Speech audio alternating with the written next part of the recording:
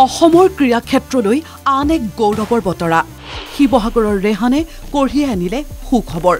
FIFA talent একাডেমীত প্ৰশিক্ষণৰ সুযোগ ৰেহানলৈ। অসমৰ ফুটবল ক্ষেত্ৰলৈ এক সুখবৰ। নিজ প্ৰতিভাৰে উজ্বলি উঠিল শিৱসাগৰৰ শিশু ফুটবলাৰ ৰেহান আহমেদ।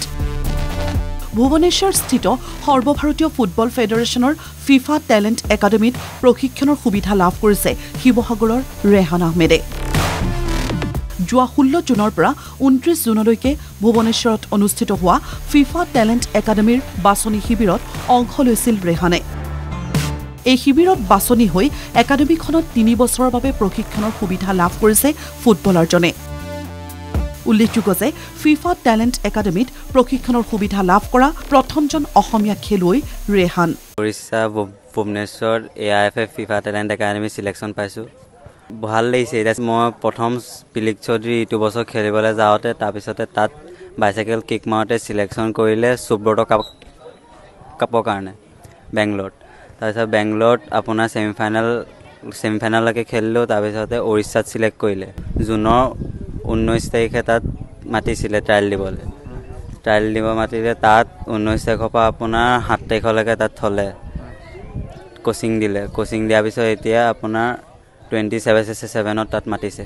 বৰ্তমান অসমৰ চৈধ্য বছৰ অনূৰ্ধ ফুটবল দলৰ হৈ খেলি আছে ৰেহান আহমেদে।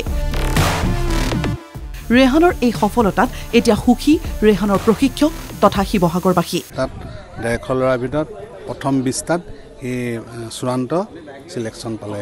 অসমৰ একমাত্ৰ ইয়ে গৈছিলে আৰু ইয়ে প্ৰথম স্থান পালে অসমৰ। তাৰপিছত প্ৰায় দুখনমান গেমত হেট্ৰিক মাৰিছে। আৰু যিখন semi final game semi final গেমত সি চাইকেল কিকটো মাৰি ফেমাছ হৈ গৈছে। সেইটোতো ভিডিঅ' আপোনালোকে চবে পাইছে ইমাৰ্জিং প্লেয়াৰ হিচাপে তাক এৱাৰ্ড দিছে। শিৱসাগৰৰ মেটেকাঘাটৰ পৰা ফিফা টেলেণ্ট একাডেমীলৈ ৰেহানৰ এই যাত্ৰা সফল হওক। দুহৰীৰ যাদুৰে জগত জিনক অসম তথা শিৱসাগৰৰ এইগৰাকী সন্তানে।